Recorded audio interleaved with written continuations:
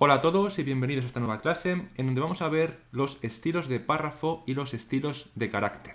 Estas son opciones ya avanzadas para editar nuestro texto. Las vamos a encontrar como bandejas predeterminadas. Aquí tenemos el estilo de párrafo y debajo el estilo de carácter. Si no las tenéis sacadas, como siempre, nos iríamos a ventana y en la opción de estilos vamos a encontrar estilos de carácter y estilos de párrafo. Bien, ¿y para qué nos sirven los estilos de carácter y de párrafo? Pues resumiendo, lo que vamos a conseguir con ellos es básicamente poder darle un estilo, un formato a nuestros textos. Ese formato lo registraremos, lo guardaremos, le daremos un nombre, de tal manera que podamos usarlo con un solo clic siempre que queramos sin tener que especificar constantemente el diferente formato que hayamos creado. El estilo de párrafo consistirá en dar ese formato de texto a través de las opciones que hemos visto que encontramos aquí en controles de formato de párrafo, todas estas opciones, y el estilo de carácter consistirá en dar formato a través de estas otras opciones y que se limitarán ya no al párrafo sino a las palabras aisladas. Lo vamos a ver con el ejemplo de la maqueta que estamos trabajando. Ya nos hemos traído un texto real de un archivo de Word y ahora el siguiente paso sería darle un formato.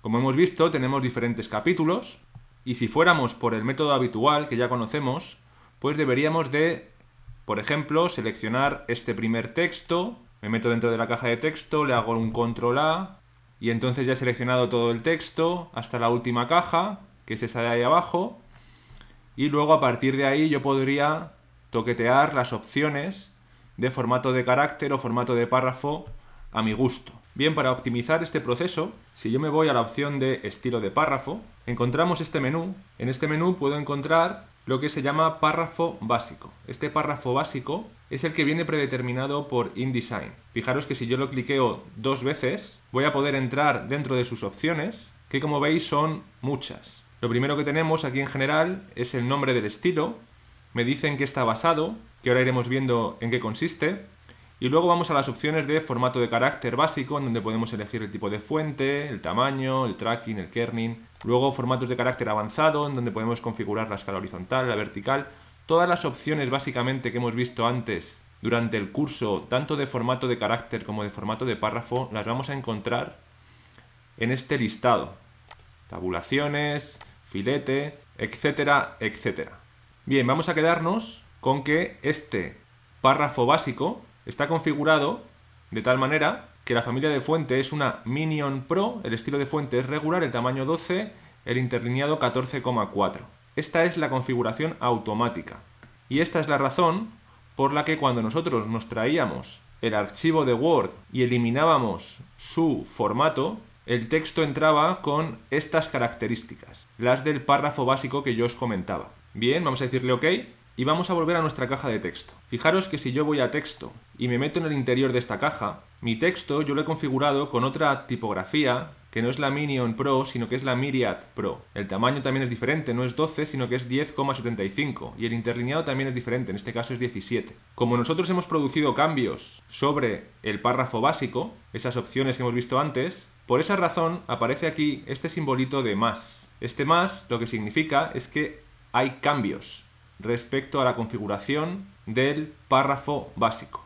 Yo estos cambios los puedo eliminar. Si yo cliqueo Alt y botón izquierdo, fijaros que el más ha desaparecido y todo este primer párrafo ha cogido el formato que tenemos guardado de manera automática. Bien, entonces la opción sería crearnos otro nuevo estilo de párrafo con este formato que nosotros hemos dado por bueno. Para hacer esto yo podría seleccionar este párrafo, por ejemplo. Ya vemos que se me activa, se me ilumina la opción de párrafo básico con el más porque hay cambios. Pero yo aquí ahora le digo que quiero crear un nuevo estilo de párrafo, yéndome a este más. Le hago clic y me aparece un nuevo estilo de párrafo llamado estilo de párrafo 1. Si yo lo cliqueo, puedo cambiarle el nombre lo primero de todo. Con un solo clic sobre la etiqueta voy a llamarle texto principal. Si quiero editar sus opciones, cliqueo dos veces, vemos que en general tenemos el nombre, que también lo podríamos cambiar desde aquí, y en el resumen de su configuración podemos ver que está formado por una Myriad Pro 1075 interlineado 17 tracking 50, porque ha cogido todas las opciones del texto que habíamos seleccionado. Le decimos que OK y ahora si queremos darle este formato a, por ejemplo, este párrafo, que si lo seleccionamos vamos a ver que tiene las características del párrafo básico, simplemente cliqueamos sobre nuestro nuevo estilo de párrafo, texto principal, y ya lo tenemos perfectamente editado. Bien, ahora si quiero darle ese nuevo estilo a todo mi texto, digo control o comando A y elijo la opción de estilo de párrafo texto principal. De esta manera, todo el texto ahora forma parte del estilo de párrafo texto principal, hasta aquí. Esto debería hacerlo también con el resto de cajas de texto, porque si yo me introduzco en esta, el estilo que tengo es el párrafo básico modificado. Así que selecciono con control A y le digo texto principal. Voy a hacer lo mismo con el último capítulo. Me meto dentro, control o comando A y elijo el estilo de párrafo texto principal. Con esto, ¿qué consigo? Porque podríais decirme, si no hemos cambiado nada. Bien, si no hemos cambiado nada, pero yo ahora, si quiero realizar cualquier cambio, por ejemplo, imaginaros que yo quiero ahora que la distancia cuando haya un punto y aparte, es decir, la distancia entre párrafos dentro del texto, sea un poco mayor. En vez de tener que irme a todos los lugares en donde encuentro un punto y un nuevo párrafo para meterme en el interior, tener que irme a las opciones de párrafo. Y aquí, por ejemplo, aumentar el valor del el espacio posterior y vemos cómo cambia, pero solo cambiaría en este punto, voy a volver a dejarlo a cero, me meto dentro de mi estilo de párrafo texto principal, me voy a la opción de sangría y espaciado, vamos a decirle previsualizar, y vamos a dejarnos un espacio para ver cómo estos cambios afectan al texto. Me voy a espacio posterior y ahí le digo que quiero esos 3 milímetros. Y vemos efectivamente en el texto cómo se va aumentando. Le digo que OK y en todo el texto de toda la maquetación, todas las cajas de texto que tienen ese formato de texto, texto principal, se han visto afectadas por este cambio. Podemos ver que en cada párrafo ahora encontramos esa distancia de 3 milímetros. Ahí lo vemos. Si quisiéramos cambiar, por ejemplo, cosas todavía más importantes, como podría ser la tipografía, también podríamos hacerlo de esta manera, de una manera muy sencilla. Nos metemos otra vez en nuestro texto principal, nos vamos a formatos de carácter básico y en vez de la Myriad Pro con la que hemos estado trabajando hasta ahora, pues podemos elegir cualquier otra. Imaginar, por ejemplo, que nos gusta la Calibri y que en vez de a 1075 la queremos a 11. Ahí estamos viendo los cambios que se van produciendo por detrás en el texto. Le decimos que OK y ahora todo nuestro texto está en Calibri. Fijaros, si me meto en el texto, aquí lo veo, Calibri regular 11 puntos, porque forma parte de este estilo de párrafo que tiene esas características. Bien, este estilo de párrafo lo hemos creado en base a seleccionar un texto que ya habíamos previamente editado. Hemos seleccionado un texto y le hemos dicho, en base a esa selección, que queremos crear un nuevo estilo de párrafo. Entonces ya digamos que ha cogido las características de ese texto.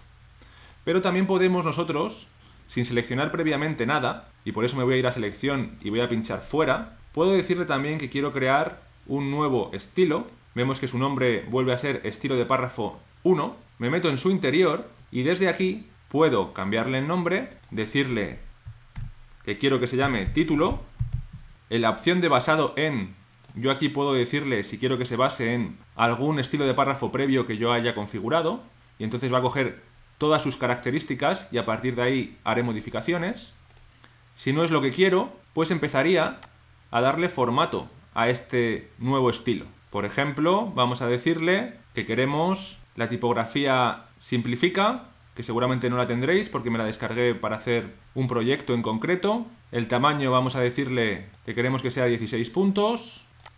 En sangría y espaciado también vamos a encontrar la alineación y aquí vamos a decirle que queremos que sea centrada y de momento le vamos a decir que ok, luego podremos hacer más modificaciones. Si nos vamos ahora y seleccionamos por ejemplo este titular, al seleccionarlo vemos que tiene el estilo de párrafo párrafo básico con un más porque nosotros editamos ese texto y entonces lo hemos transformado, tiene esa transformación. Si yo cliqueo sobre mi estilo de párrafo título, clic, ahí vemos el nuevo estilo de párrafo que hemos creado. No parece que ahora mismo esté bien configurado, así que nos metemos dentro, dos clics, vamos a dejarnos un espacio para ver las transformaciones que realizamos, nos vamos a formato de carácter básico y le vamos a decir que lo queremos mucho más grande por ejemplo, 30 puntos y le vamos a dar un tracking de 300. Por ahí ya podría funcionar y le decimos que OK.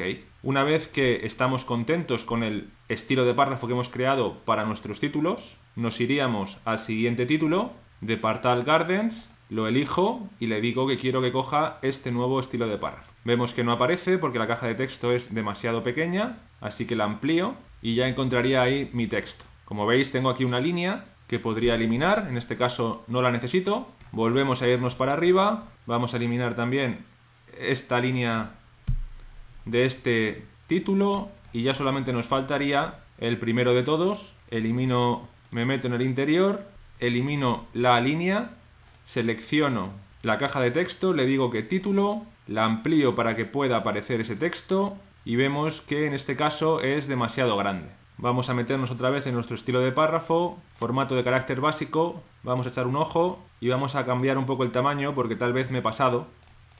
Por ahí podría estar bien, le decimos que OK y podemos comprobar el resto de páginas. Ahí vemos que lo tenemos en la Alhambra y ahí lo vemos en la última página con los jardines del Partal.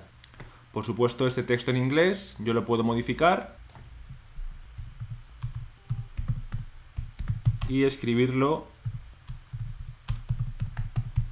en español. Voy a hacer lo mismo con el resto de títulos y por aquí podría estar bien. Bien, ¿qué más podríamos hacer para seguir configurando nuestros estilos de párrafo en esta maqueta? Un último estilo de párrafo que necesitaríamos sería el que va a ser utilizado como pie de foto. Los pies de foto vemos que tienen un formato diferente y entonces sería conveniente crearnos un estilo de párrafo exclusivamente para él. De esa manera, en el caso de que nosotros en algún momento queramos hacer una modificación, nos iremos a su estilo de párrafo y podremos cambiar todos los pies de foto con unos cuantos clics. Bien, ahora entonces deberíamos de decidir si este estilo que tenemos aquí asignado, que es una Myriad Pro Italic a 10 puntos, lo queremos mantener o queremos uno completamente diferente. Si lo queremos mantener, seleccionaríamos, nos iríamos a estilos de párrafo, como ya sabemos, ahora mismo tiene asignado el estilo de párrafo básico con modificaciones, y le diríamos que más. Se nos crea este nuevo estilo, cliqueamos dos veces, le llamamos pie de foto, y como damos por buena la selección que hemos hecho, le decimos que OK. Ahí lo tenemos, y ahora simplemente con la selección cogeríamos el siguiente y si queremos podemos hacerlo con Shift más rápido seleccionando todos los elementos de una sola vez y cliqueando sobre el estilo de párrafo pie de foto. Lo mismo deberíamos hacer en todos aquellos pies de foto que encontremos en nuestra maqueta. Aquí, por ejemplo, tenemos otro en donde podríamos seleccionar la caja de texto y sin tener que introducirnos en su interior podríamos marcar pie de foto. Como vemos, aquí se nos ha estropeado nuestro formato y con esto entonces tendríamos que tener un poquito de cuidado. Porque claro, todo va a depender de la caja de texto. Si la caja de texto es muy grande, si la caja de texto es más pequeña, los alineados a izquierda, derecha, justificados, etcétera, etcétera, pueden cambiar de un lado a otro. De momento vamos a configurar esta caja de texto de manera correcta, por lo que me voy a meter dentro, me voy a ir a sangría y espaciado, la alineación le voy a decir que quiero que sea izquierda, ahí ya vemos que está un poquito mejor, y el interlineado, que lo vamos a encontrar en formato de carácter básico, vamos a abrirlo mucho más. Vamos a decirle que 21 puntos y le decimos que OK. ¿Qué pasa? Que ahora probablemente aquí arriba, como veis, también se me ha modificado y la alineación izquierda no es lo que yo quiero para estos pies de foto. Para arreglar esto de una manera sencilla, la mejor opción sería seleccionar todas estas cajas de texto irme a la opción de texto y decirle que quiero la alineación a la derecha. ¿Qué pasa?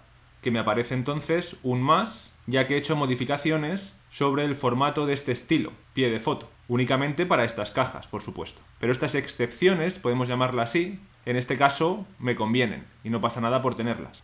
Cliqueo fuera y ya está. También encuentro unos pies de foto en estas flores de aquí abajo, que en este caso se trata de cajas independientes, están bien alineadas a la izquierda, así que las selecciono de cualquier manera y le digo estilo de párrafo pie de foto. No va a haber cambios visibles, pero sí ha cambiado el estilo de párrafo al que pertenecen. De tal manera que, como siempre os digo, cuando haga un cambio se verán afectados estas cajas de texto. Finalmente encuentro este último pie de foto en donde lo selecciono, le digo estilo pie de foto, he abierto un poquitín más el interlineado a como estaba, pero prácticamente igual, y ya entonces tendría todos mis pies de foto perfectamente organizados. Por último, como veis aquí, en esta página tenemos como una cita de un texto en árabe, su traducción y el nombre del autor. Si nosotros en el libro que vayamos a realizar, por ejemplo, si es el caso, vamos a tener resaltados, vamos a tener citas de manera habitual, el libro se va a ver salpicado con ellas, pues también conviene crearnos un estilo de párrafo para, simple, para simplemente con un clic